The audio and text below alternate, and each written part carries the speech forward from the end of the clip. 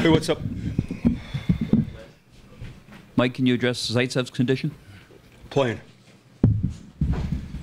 How big of a boost is that for you guys? Yeah, I mean, it's a huge boost for him. Obviously, losing Poli, uh, you feel bad for the, the man and the kind of teammate he is and all that. Uh, nice to get Zaitz back, and, uh, you know, it's an opportunity for him. Uh, you know, he's been a real good player for us all years, ultra competitive, moves the puck, you know, good on the penalty kill, good on the power play, so important guy for us. Mike, is, is there a challenge at all for him getting thrown back in after he hasn't had a full practice, uh, first NHL playoff games? I don't think so. We're going to find out, though. You and I'll know at the same time.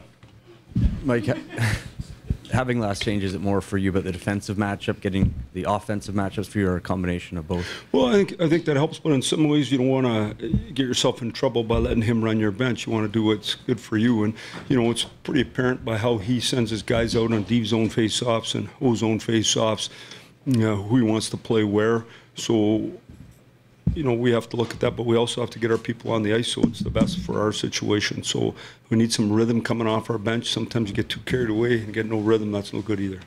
Mike, a follow-up to uh, just what you were talking about. Uh, what have you liked about the proficiency of a five-man group, a four-man group, in winning draws and, and getting possession initially? Well, obviously, it's uh, it's an important part of the game. I mean, ob- you know, it's easy to look at it and say we were better last game. Now, what happens is is two teams have an opportunity to respond, and often the team that uh, didn't like the way it went for them is the team that digs in the hardest. And we talked about yesterday on an off day is is it's very important that we understand that we have to elevate and get to another level, set the ante here tonight, because last game doesn't matter anymore. We got to get on with it. It's a best of five now.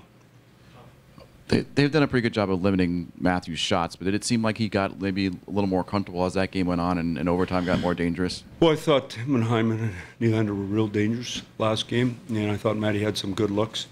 And so, uh, you know, it's just over time. But I think with all good players, you know, what I found uh, coaching good teams is sometimes in the first round you look at your stars and they have no points.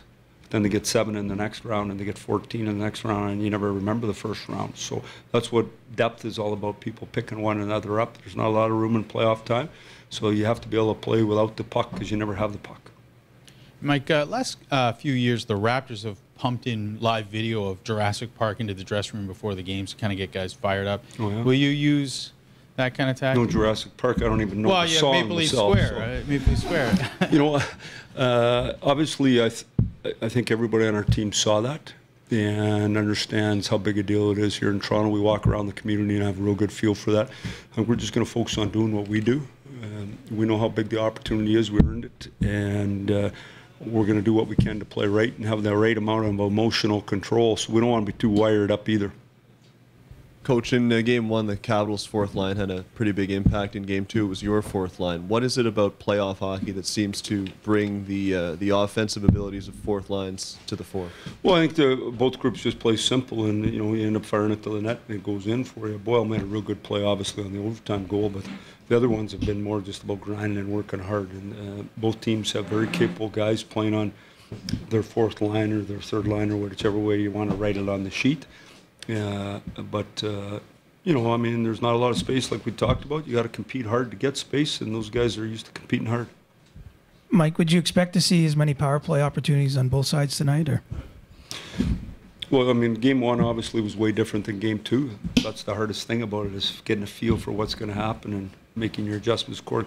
We took two real bad penalties last game, and their power play's too good to take bad penalties. Uh, you know, we talked about that. Can't take bad penalties. You're going to take penalties once in a while. I understand that. Totally can't take bad ones. van Riemsdyk's um, thrived in playoff atmospheres in the past. Have you seen him sort of different gear in his game over these last these first two? Well, it's the first time I've ever seen James in the playoffs, so I couldn't tell you much about that. Uh, you know, I think he's been good for us, and he's a big man. He's at the net, and that's where he score goals in the playoffs.